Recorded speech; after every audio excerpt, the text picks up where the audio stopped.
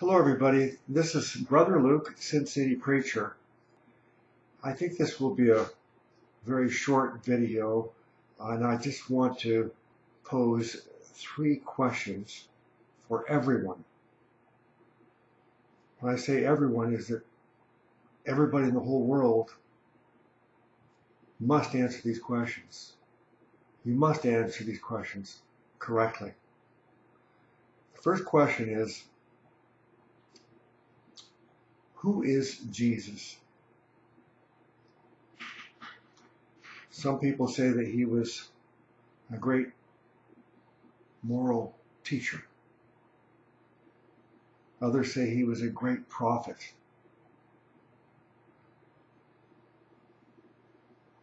Others say that he didn't even exist. It's just a myth.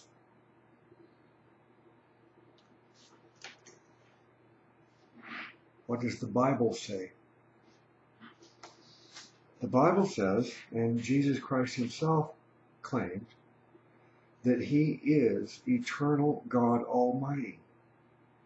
God manifest in the flesh. Jesus is not a created being like us. Jesus is the creator of all things. He does not have a beginning. He does not have an end. Jesus Christ is eternal, God Almighty.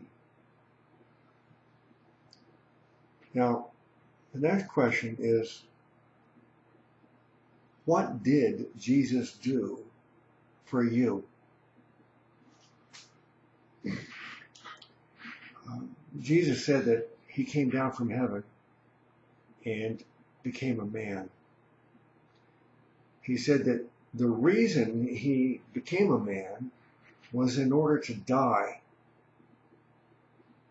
And the Bible says, and history records that, in fact, he did die. He was crucified. But Jesus said the reason he came and became a man was to die, but why did he have to die? Well, the Bible says that he had to die so that you could live. He died so that you could have life everlasting. Now, the Bible records that Jesus lived a perfect, sinless life. No one in history has ever done that except Jesus. The Bible says we've all sinned, we've all come short of the glory of God. I know that some people sin more than others, it seems, and we all have our various varieties of sins. But it's not important the number of sins, and it's not important the type of sin. The fact is, we are all sinners. And because of our sin, the Bible says that we're separated from God. We cannot have the relationship with God that we were created for. So Jesus died on that cross and paid for your sins and my sins. And Jesus lived a perfect, sinless life.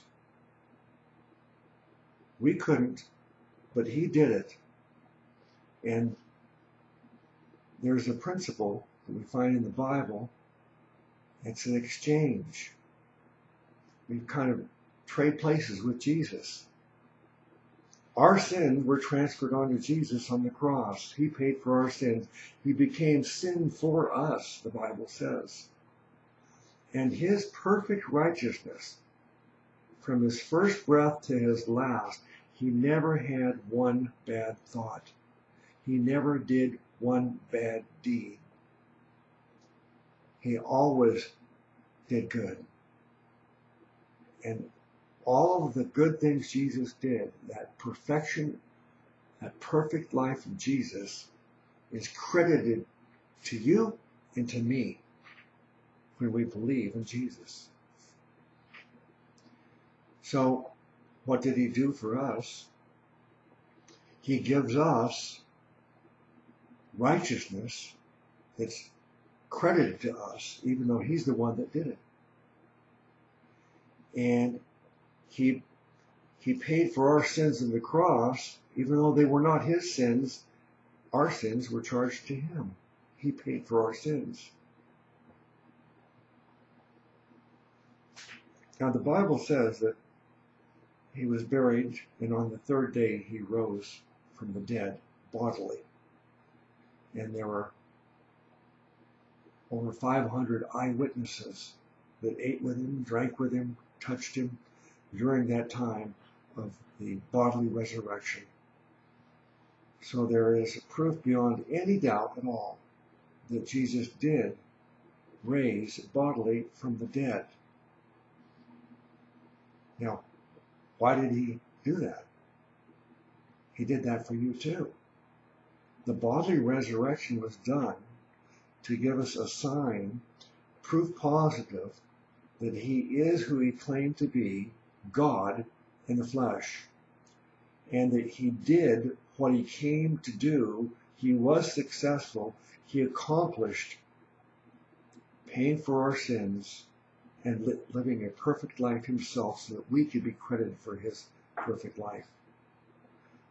That's the significance of Jesus' bodily resurrection. And then the, the third question I want to ask you is what did Jesus promise you? The Bible tells us that uh, there will come a day when every person who's ever lived will also be raised from the dead. There will Jesus was raised from the dead, and he says that like his resurrection, we also will all be raised from the dead.